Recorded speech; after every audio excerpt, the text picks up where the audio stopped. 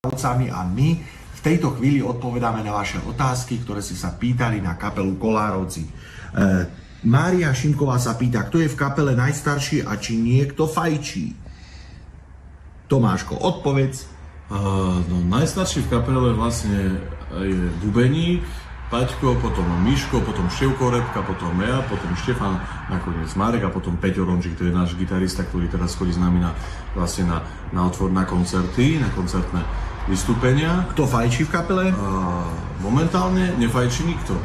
Tak, Miško minule som videl na takú elektrickú, ale to neviem, či niekomu držal, či fajčil. No, tak Miško sem tam si dáke, tak ale nie je fajčiar, určite Nie je to nie je fajčiar, fajčiar, ale fajčiar. ja sa priznám, ja som, ja som fajčil, ale už asi koľko rokov nefajčím? 4, 5? Tie roky idú, ale no, už teraz, chvála Bohu, nikto nefajčí, ale najlepší e, na fajčenie e, príslovie má Paťo Červeňák, náš bubeník, ale to osobne, keď budete s ním, tak sa ho spýtajte, vám to vysvetlí. Janka Mižika, e, Mižáková sa pýta, pardon, ja by som sa chcela opýtať Števka Repku, kde berie inšpiráciu na úžasné texty, ktoré píše a ktorý text piesne, čo napísal jeho naj.